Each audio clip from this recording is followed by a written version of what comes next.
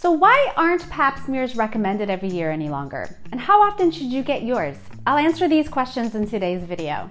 Well, what's up, healthy people? I'm Dr. Majd, DeBoer certified family medicine physician practicing in sunny San Diego. Make sure to subscribe for weekly useful and actionable health tips to help care for you and your family in two minutes or less. You know, pap smears were traditionally performed annually, but it's been at least a decade since the guidelines have changed, but I'll tell you, I still get new patients in my office once in a while who come in thinking that they're due for one every single year. Now, why are they done less frequently now? Maybe if we can answer this question, you'll feel more at ease. First of all, our testing technology has improved. We're better at detecting it now than ever before, which makes sense. Times are changing, we're getting more tech savvy here. Second, there's an extra test that goes along with it to check for the presence of human papillomavirus or HPV. This is the cause of cervical cancer, which is a virus that is transmitted sexually. Yes, cancer of the cervix is caused by an STD. So we use the information from both the pap smear test and the HPV test for improved detection and management. And lastly, cervical cancer is often slow growing.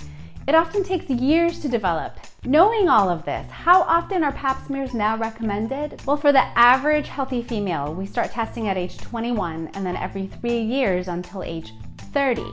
Then, after age 30, we test most women every five years. Yep, you heard right, five years. And we stop at age 65. Now, why do we test so infrequently after age 30? Because cancer of the cervix is more common in young sexually active women who may change partners or who have partners who have changed partners. So, women in stable, monogamous, meaning only one partner long term, are less at risk. Now, keep in mind that these are guidelines for the typical healthy female without recent abnormal pap smears.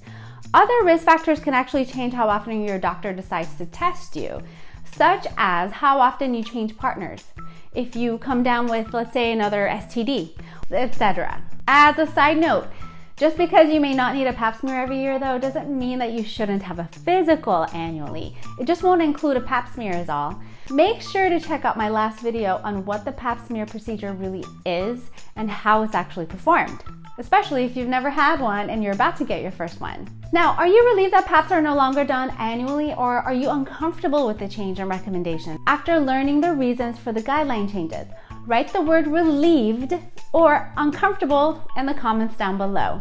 Me, personally, totally relieved. Pap smears are no fun. Now, if you found the information useful, let me know by giving it a thumbs up and share it with someone else who may find it useful. And don't forget to hit that red subscribe button down there and that notification bell next to it so that you don't miss any future weekly videos. Well, thanks for tuning in, stay healthy, and I'll catch you next time.